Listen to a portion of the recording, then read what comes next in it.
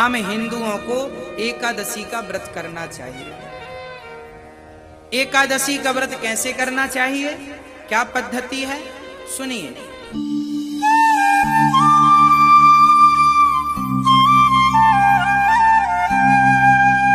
ओम श्री विष्णुवे नमः। जय श्री राधे कृष्णा मित्रों, स्वागत है आपको अपने ही चैनल भक्ति तेरी आंचल में। बोलिए, श्री लक्ष्मी नारायण भगवान की जय। बोलिए, श्री राधे कृष्ण भगवान की जय। भगवान श्री लक्ष्मी नारायण जी की कृपा आप पर और आपके परिवार पर सदा और सर्वदा बनी रहे।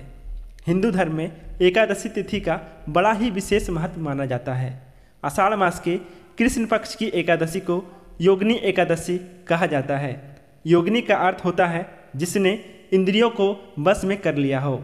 योगनी एकादशी का व्रत रखने और इसकी कथा को सुनने से मनुष्य की सभी मनोकामनाएँ पूर्ण होती है।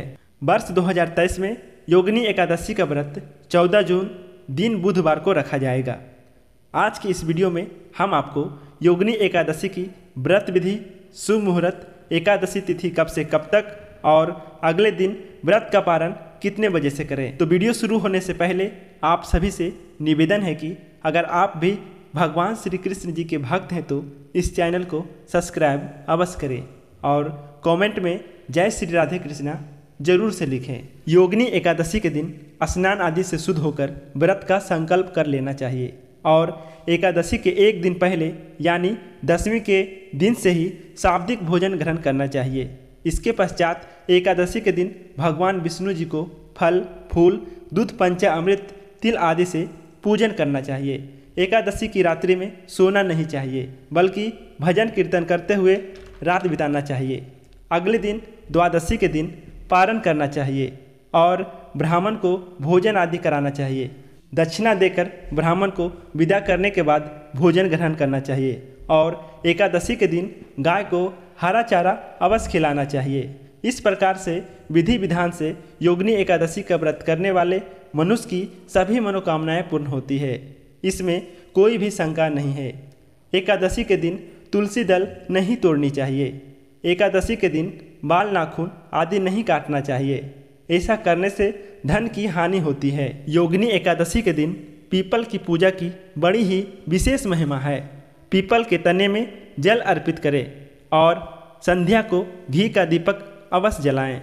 इस दिन भूमि पर शयन करने से विशेष पूर्ण फल की प्राप्ति होती है। रात्रि को भगवान विष्णु की प्रतिमा के समीप ही भूमि पर शयन करना चाहिए। आइए अब काशी के पंचांग के अनुसार जान लेते हैं कि योगनी एकादशी कब से प्रारंभ होगी। योगनी एकादशी की तिथि प्रारंभ होगी तेरह जून को, सुबह नौ बजकर अट्ठाईस मिनट से, और एकादशी तिथि समाप्त होगी चौदह जून को, सुबह आठ बजकर अड़तालीस मिनट पर। तो युद्धा तिथि के अनुसार सूर्य उदय का समय एकादशी तिथि चौदह जून को होने के कारण योगनी एकादशी का व्रत चौदह जून को ही रखना शास्त्र अनुसार सर्वोत्तम रहेगा। योगनी एकादशी के व्रत का पारण, यानी व्रत खोला जाएगा पंद्रह जून को। व्रत खोलने का शुभ समय होगा सुबह पाँच बजकर सात मिनट से लेकर सुबह सात बजकर बावन मिनट के मध्य में। आप सभी को योगनी एकादशी व्रत की ढेर सारी शुभकामनाएँ। अगर वीडियो पसंद आई हो तो चैनल को सब्सक्राइब ज़रूर करें। राधे राधे मित्रों।